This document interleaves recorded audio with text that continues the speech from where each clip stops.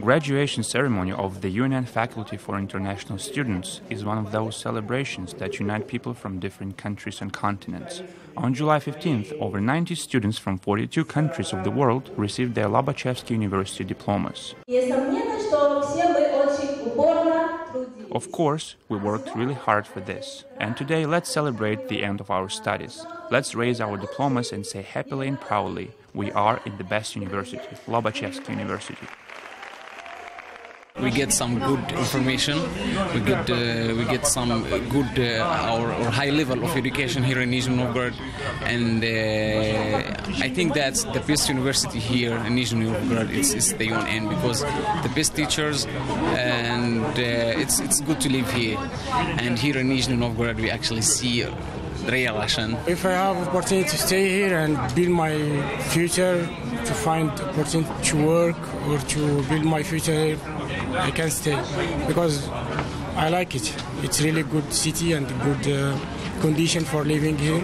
My future is very bright already because um, even as we speak now, um, I have some companies back home which have already um, contacted me that um, once I arrive in Ghana, I'll just go for interview and start work as soon as possible. So it means that um, coming here wasn't just a waste. It, it, it, has really helped because when I even came here, there were a lot of things that I was missing, but I had very good um, lecturers which has um, um, giving me more um, knowledge. So going back to Ghana, I'm going there with something new. For several years, students were learning much more than their specific disciplines. Russian culture classes helped students get to know the customs, songs, arts and crafts and holidays of our country and left lasting impression on them.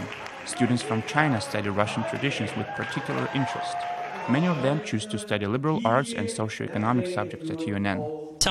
I study international relations. Our institute is known for high quality of teaching and education. We have recently hosted an international delegations and they highly appraised our institute. The knowledge and skills that I've learned here will be useful for me when I get back home to China. I will become a university professor.